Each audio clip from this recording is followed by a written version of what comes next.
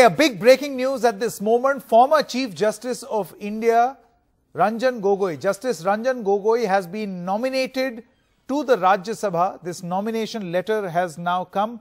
Uh, if I were to just read the contents of the letter, I'm going to quickly do that so that you know what you know what exactly has happened. Uh, Arunachalam Vaidyanathan is also with us. Vaidya, the contents of this letter right here. This is a Ministry of Home Affairs notification which says in exercise of powers confirmed by sub clause conferred by sub clause A and clause 1 of article 80 of the constitution the president is pleased to nominate Sri Ranjan Gogoi to the council of states to fill the vacancy caused due to the retirement of one of the nominated members first of all how unprecedented is this Vaidya See, uh, it's a nomination by the president to a former Chief Justice really is unprecedented. At the same time, Justice Gogoi is not the first person to enter Rajya Sabha, but former Chief Justice Ranganath Mishra was also a Rajya Sabha MP, but not as a nominated member, but he joined Congress. Then he became the uh, he became the MP. So it, it was during 1998 and 2004. So he, he was a Rajya Sabha MP. So people, uh, in, in fact, so when the government, when the president nominates, it's basically recommendation by the government. So uh, interesting. Another point is, see, Justice Sadasivam, who retired as a Chief Justice, when he became Kerala Governor, then there was a lot of uh, said in the judiciary saying that how can he accept as a governorship. But seeing this, but now Justice Gogoi being nominated, I think uh, one can forgive Justice Sadasivam taking over as the governor. But uh, when I spoke to a few uh, people in judiciary, they were completely taken aback. Nobody, probably the, the judges who sat with Justice Gogoi didn't know that this is happening. When I conveyed the message to them, they were completely shocked. Vaidya, it's interesting that you mentioned right now uh, the case of uh, former Chief Justice uh, Ranganathan Mishra, who was the 21st CJI, who also served as a member of parliament. Correct me if this information is wrong. Uh, who served as a member of parliament in Rajya Sabha from the Congress party between 1998 and 2004. So if and let's quickly get in our political panelists also. If there were to be a case that the Congress builds where it says that, look, this is some sort of a, I don't know, I mean, there can be any number of allegations that this is unprecedented. Why was this a, uh, why has this happened? Then in that case, the BJP can also turn around to say, well, here was a person who joined the Congress and thus was made, the former Chief Justice was made an MP by the Congress. Absolutely true. That's why I told you earlier, in 1998 to 2009 uh, to 2004, uh, Mr. Uh, Justice Mishra was the Congress MP for Rajya Sabha.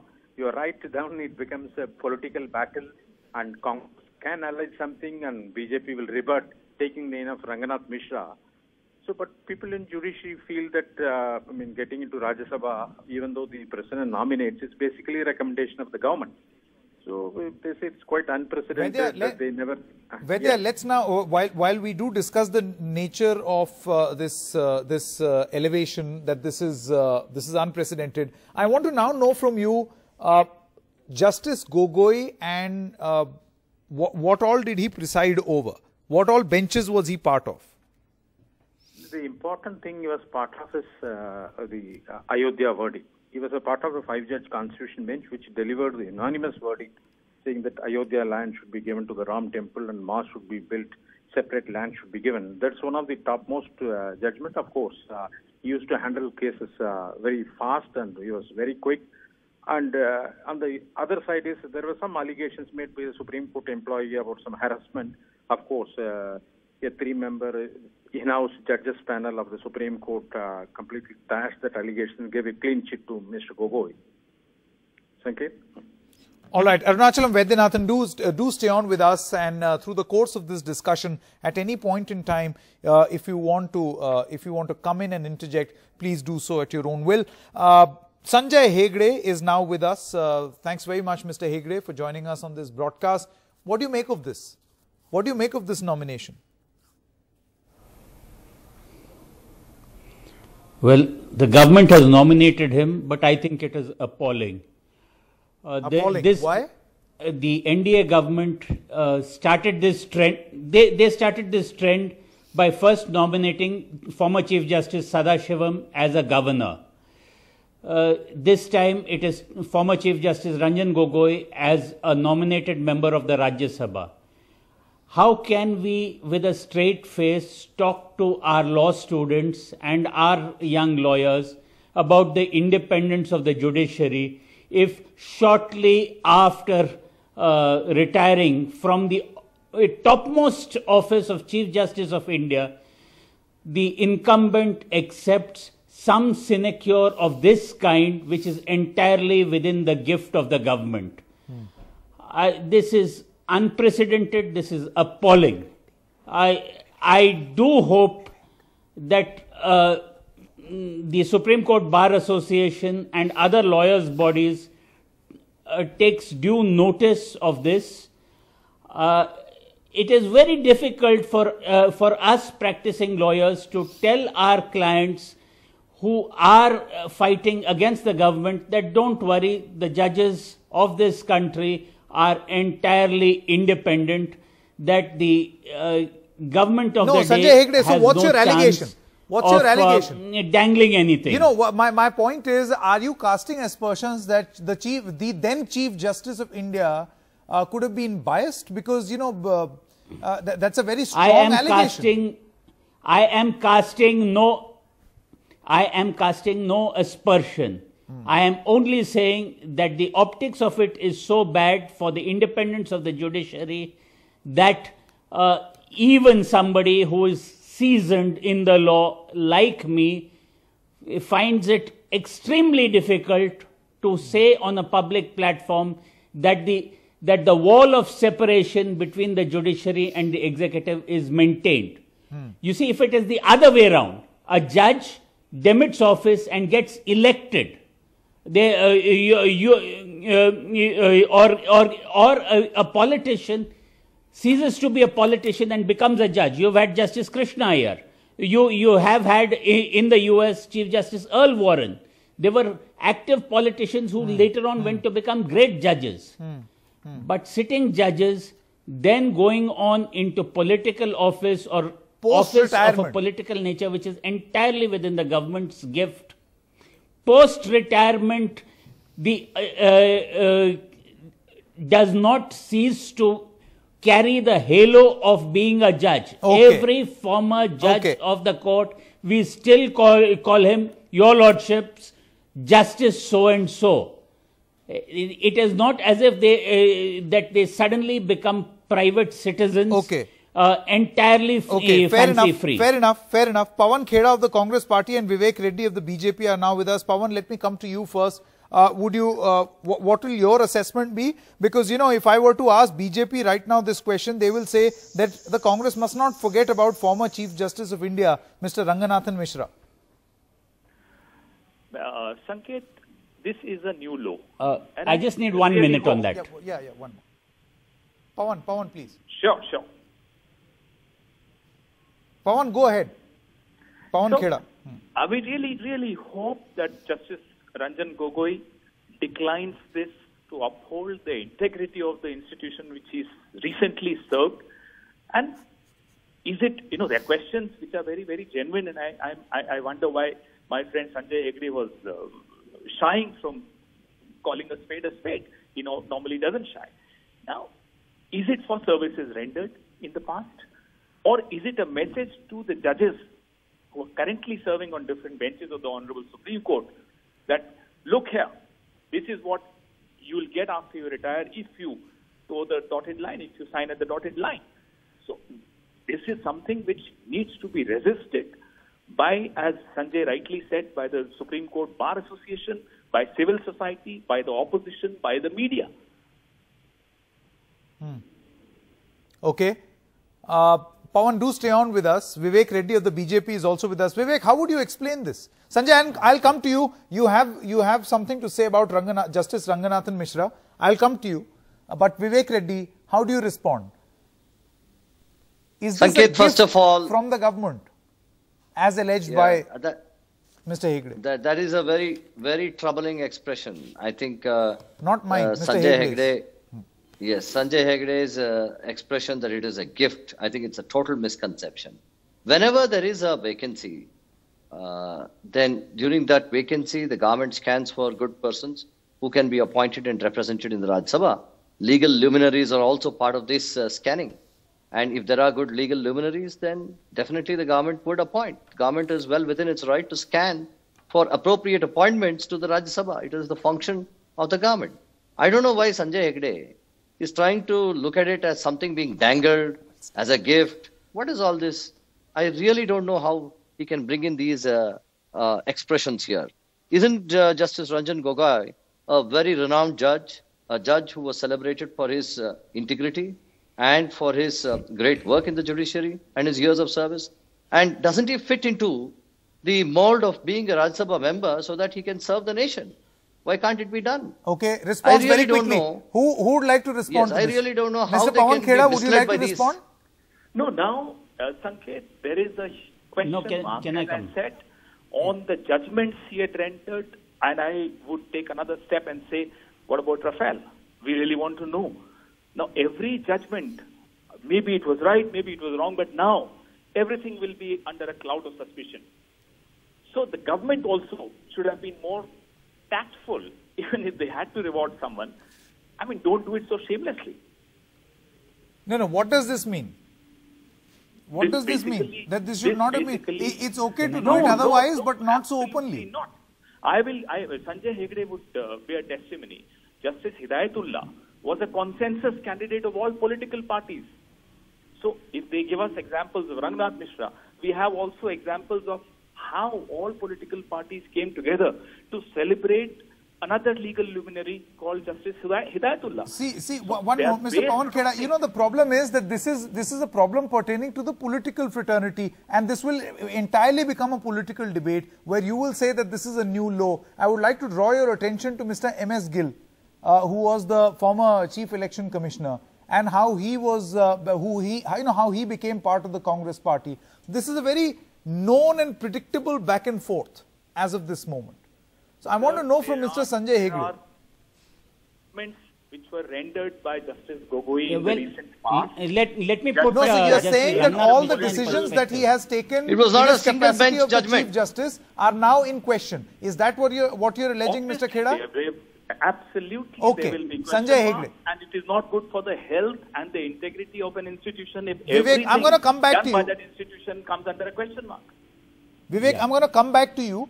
Uh, Sanjay Hegde, you wanted to come in. When Vivek Reddy says See, what is the what is the Rangnath, harm? Rangnath Mishra.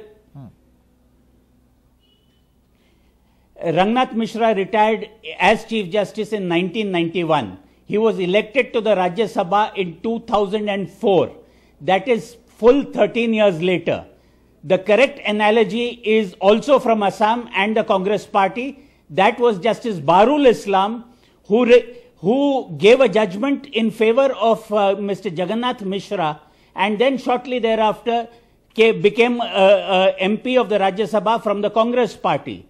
I don't hold a brief for any party, but I do hold a brief for the independence of the judiciary. And when a recently retired judge accepts a, a, a nomination by a government uh, uh, which uh, has been a litigant before him, questions are bound to be raised and will be raised. For the sake of the independence of the judiciary, I hope that Justice Gogoi has the courage to, uh, to say no to this nomination as well. Uh, uh, when the when the Assam High Court decided to give him That- certain you're saying facilities, that Justice- Justice Gogoi went up in in our esteem Huh. where, where, when, when he rejected the offer. I, I don't think that this nomination is something which Justice Gogoi should accept. Okay, uh, Vivek Reddy, how do you respond to this? He's saying that Justice Gogoi must reject. In the honor I of the think on the other judiciary, hand- do you think that judiciary's honor has been questioned Look, Sanket, or challenged? one thing, one thing that Or uh, compromised. Sanjay Hegde and Pawan Khera must keep in mind is this. First of all, Justice Gogoi's judgment was not a ju- single judge's bench or a single judge's judgment. This was a judgment comprising of in various cases that they are referred to. It was a judgment comprising of at least five judges or three judges. And in the setup in the Supreme Court, every judge has an independent mind and expre- exhibits his discretion on the facts of the case before him and, and on the law. So, therefore, each judge who opines in the case independently opines under the constitutional system. I don't think it is right for them to say that Justice Gogoi is the sole person guiding the judgment. Not at all. This is number one. Second thing is, I think Justice Gogoi, in view of the fact that this, this selection is made on account of his long service to judiciary, he has to accept it because this is a this is what is given to a person for his great services to the institution. And there is no reason, uh, merely because Sanjay Hegde has a suspicion or Pawan Khera has a suspicion, I don't think this is all political. They are trying to connect things which are not there. That doesn't mean there are four other judges sitting with Ranjan Gogoi taking a view on the matter. Do you think the the uh, in the in the in the mindset of people, the four other judges are also in any manner prejudiced? Mr. Khera, would you Just like to as respond? Justice Ranjan Gogoi is not prejudiced. Mr. Nobody else is Khera, prejudiced. le- okay, let me, Let's let me get a reply. These things. Let me get a reply. Mr. Pawan Khera, your response. You heard the concerns that have been raised. comment on the hate speeches made by BJP leaders is transferred overnight. I mean, his transfer notification is issued overnight in the middle of the night. So the the message to the judiciary by this government is clear: be loyal or be lawyer. Now that's the message which we need to fight tooth and nail. I think the transfer was there pending since a uh, long time. if I it's about two in- weeks. Yeah, wa- wa- one by one, please. Transfer was First, three first judges, Vivek and then this Sanjay. midnight notification was served only on one judge. Why? We all know the answer. All the three were transferred. Mr. Pawan The Khera, the proposals of all three judges were on there. Middle of the night, there was All no the need. three We judges all know why. were transferred. So, I mean, you can't mislead the nation again and again. Everyone knows what this government is all about and how it treats the institutions of democracy. Pawan Khera, the last thing that we are trying to do is trying to convince you. But the point is this.